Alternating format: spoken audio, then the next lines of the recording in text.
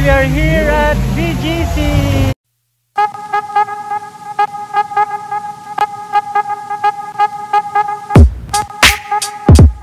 Best seller nila guys. Milk tea nila guys, ang sarap i-try nyo yung milk tea. Rate natin siya 1 to 10, yung ang highest 10. For today's video guys, maghahanap kami ng ano, ng Singaporean food. Tara, samahan nyo kami.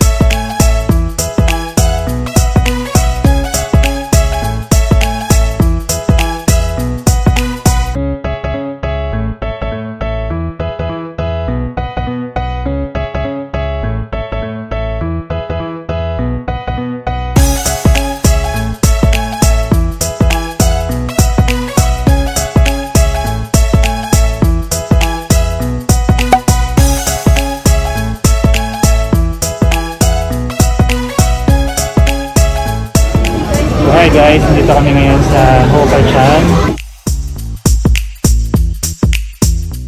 Ah, tatry namin itong uh, besalan. Ano besalan yun? Yung chicken rice. Chicken rice. Chicken with rice. Pero mukhang masarap din yung ano eh. Yung noodles with chicken nila ma'am. Mm. Kahit pwede na po. Tsaka buchi. Tsaka milk tea. Try namin guys. Singaporean food to guys. Oo, no?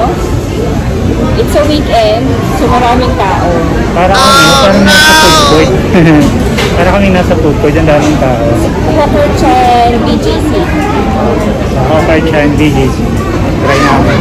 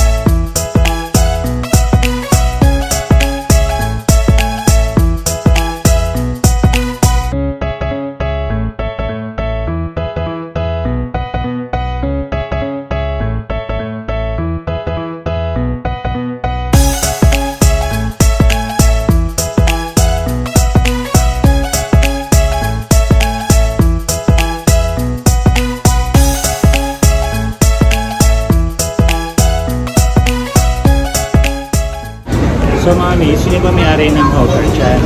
Si ano, si Jackie Chan. Gutom na ako, daddy. Si Hok Hoga.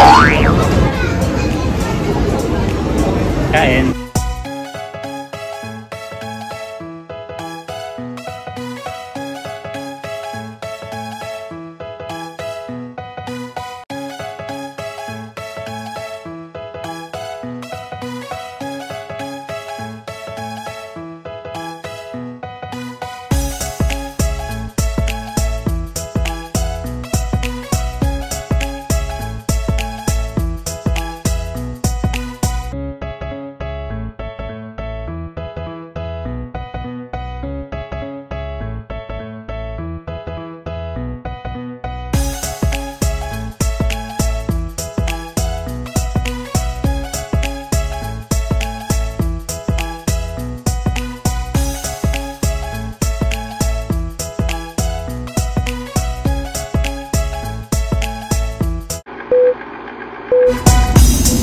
guys! Welcome back to our channel.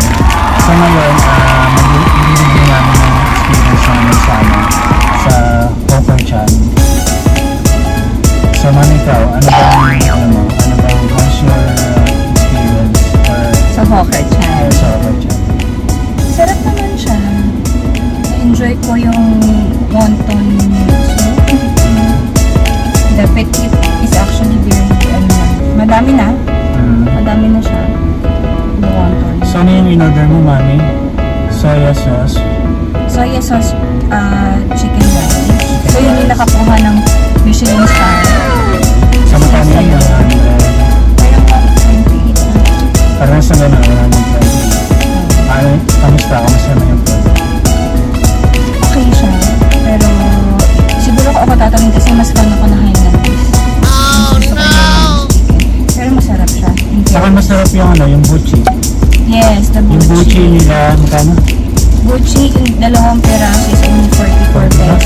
44. Tapos yung milk tea nila guys, ang sarap i-try nyo. Mm, ang sarap. Yun, So, magkano yung Um, 88 pesos. Oo, 88 pesos siya. Tapos saka naman guys, ang in-order ko yung ano, soya sauce noodles with chicken. Ang sarap. Bitin ako. Ah, bitin kami guys kasi talagang yung pagkain sulit talaga. Tapos yung price, ang mura lang. Ang ano doon, ang touch doon guys, ang, talagang minabilis namin kumain kasi ang daming tao. Ang daming tao. Sobrang daming tao. Mali yung punta namin. Dapat pala ang punta namin. Weekdays. Weekdays. Eh, nagpunta kami yung weekday. Ang daming tao talaga. Saka parang ano, yung place nila parang food court. Siguro food court yun yan. Food court nga, kasi food district. Mm, food court. food court. Pero kang masabi ang sarap. Price, affordable naman sa sa food. Tapos, ah, kaya guys, kung pupunta kayo, ano, try nyo pumunta ng, ano, ng weekdays para wala masyadong tao. So, mami, kung uh, i-rate natin siya 1 to 10, yung ang highest 10, anong, ano sa'yo, anong rate? Buchi is 10.